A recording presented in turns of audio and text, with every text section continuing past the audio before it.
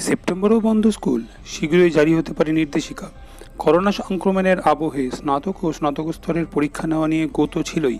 এবার স্কুল খোলার ব্যাপারেও কেন্দ্রের নির্দেশিকা নিয়ে বিতর্ক ও চাপানোতর তৈরি হলো। রাজ্যকে তিন দিন সময় দিয়ে বলা হয়েছিল, আগস্ট, সেপ্টেম্বর নাকি অক্টোবর কোন মাসে স্কুল খোলা যাবে? এ বিষয়ে অভিভাবকদের বক্তব্য কী? রাজ্যগুলিকে সতেরোই জুলাই চিঠি পাঠিয়ে কুড়ি তারিখের মধ্যে উত্তর চেয়েছিল নয়াদিল্লি। এ রাজ্যের প্রশাসনের কর্তাদের বক্তব্য, শিক্ষা সংবিধানের যুগ্ম তালিকায় থাকা সত্ত্বেও এই ধরনের চিঠি কি করে আসে? এখন স্কুল বন্ধ, তার মধ্যে তিন দিনে অভিভাবকদের বক্তব্য পাওয়া সম্ভব নয়। স্কুল শিক্ষা দপ্তর থেকে পাওয়া খবর অনুযায়ী আগস্ট সেপ্টেম্বরেও রাজ্যের স্কুল বন্ধ থাকতে চলেছে। শেষ বিজ্ঞপ্তিতে বিকাশ ভবন বলেছে, একত্রিশে জুলাই পর্যন্ত শিক্ষা প্রতিষ্ঠান বন্ধ। তবে যে হারে দিন দিন করোনা সংক্রমণ বাড়ছে, তাতে স্কুল, কলেজ, শ্রেণীকক্ষের তালা যে আগামী দু মাসে খোলা হবে না, তা মোটামুটি নিশ্চিত। মানব সম্পদ উন্নয়ন মন্ত্রক বাংলাসহ রাজ্য ও কেন্দ্রশাসিত অঞ্চলগুলির কাছে জানতে চেয়েছিল আগামী তিন মাসে কবে স্কুল খোলা হবে। এ রাজ্য জানিয়ে দিয়েছে, এখনই তা বলা সম্ভবপর নয়। স্কুল শিক্ষা দপ্তরের সূত্রে খবর, চলতি মাসের সেপ্টেম্বর চলতি মাসেই সেপ্টেম্বর পর্যন্ত পঠন পাঠন বন্ধ রাখার যে নির্দেশ, তা প্রকাশিত হবে। মার্চের মাঝামাঝি থেকে তালা বন্ধ, স্কুল কলেজ সহ সমস্ত শিক্ষা প্রতিষ্ঠানে। কবে থেকে ফের খুলবে স্কুল?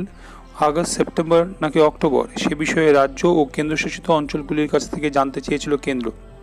অভিভাবকদের মতামত জানতে আগ্রহী নয় দিল্লি হাতে গোনা কয়েকটি রাজ্য জবাব দিয়েছে দেশ জুড়ে করোনা সংক্রমণে যে পরিমাণে বাড়ছে, এই পরিস্থিতিতে পড়ুয়াদের কথা মাথায় রেখেই স্কুল খুলতে চাইছে না বেশিরভাগ রাজ্য। তবে অন্ধ্রপ্রদেশ, কর্ণাটক, কেরল, রাজস্থান, ওড়িশা, নাগাল্যান্ড, মণিপুরের মতো কয়েকটি রাজ্য সেপ্টেম্বরে স্কুল খুলতে আগ্রহী।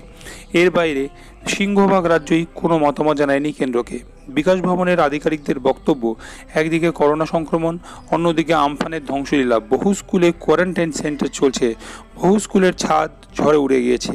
এই পরিস্থিতিতে স্কুল খোলা কোনোভাবেই সম্ভবপর নয়। টানা পাঁচ মাস ধরে তালা ঝুলছে স্কুলগুলিতে। কবে থেকে স্কুল খোলা যেতে পারে?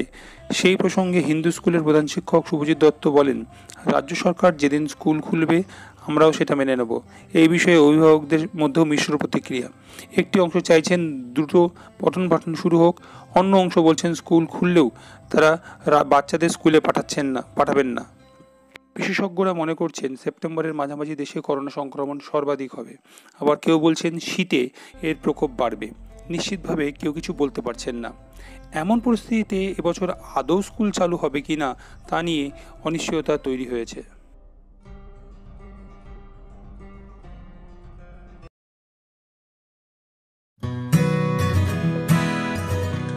শিক্ষা সংক্রান্ত নিউজ আপডেট পেতে সাবস্ক্রাইব করুন টিএফডিজির ইউটিউব চ্যানেলটি।